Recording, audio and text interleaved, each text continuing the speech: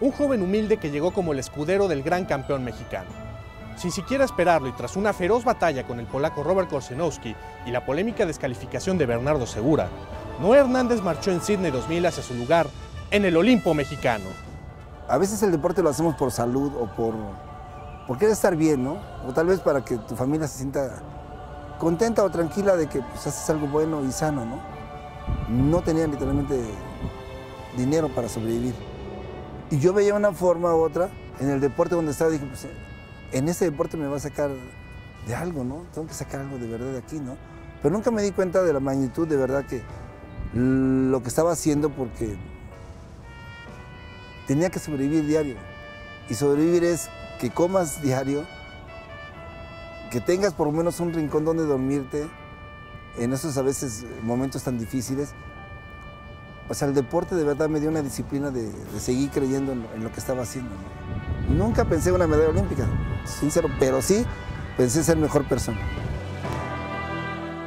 Yo llego una semana antes de, mi competencia y veo a atletas ya, Robert Kosenowski, Jefferson Pérez, los rusos, los eh, españoles, o sea, de verdad los veía y yo los veía hacer repeticiones en la pista y de verdad eran, pero veloces.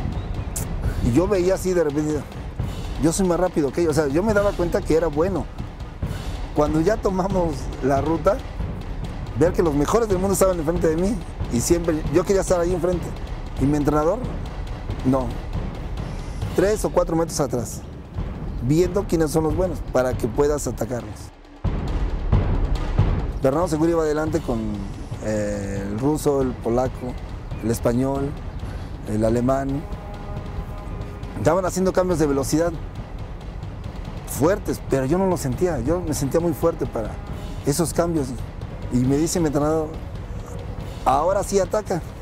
Cuando empiezo a rebasarlos y atacar, rebaso a Bernardo, rebaso al ruso y llego con el polaco a puntear ya, a romperles el esquema al, al ruso y al polaco. Se sorprenden porque no me conocían, no sabían ni quién era yo.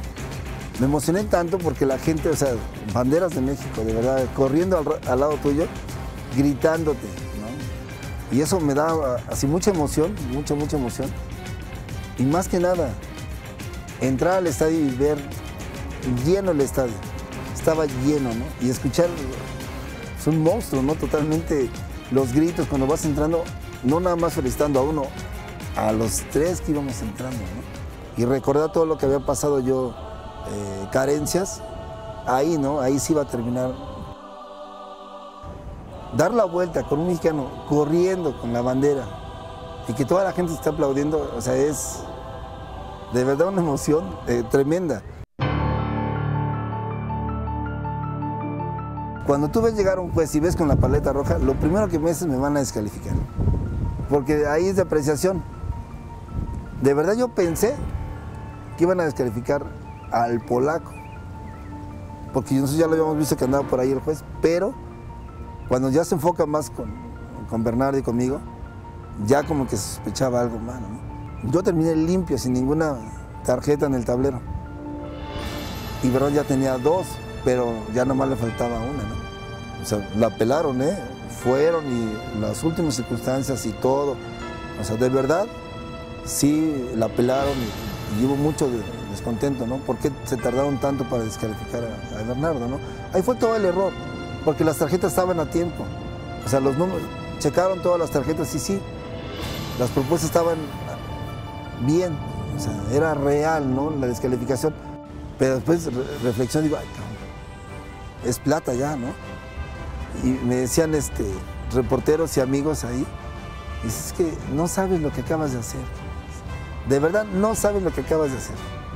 O sea, acabas de hacer historia. Acabas de ganar una medalla olímpica. Sabes que representa eso.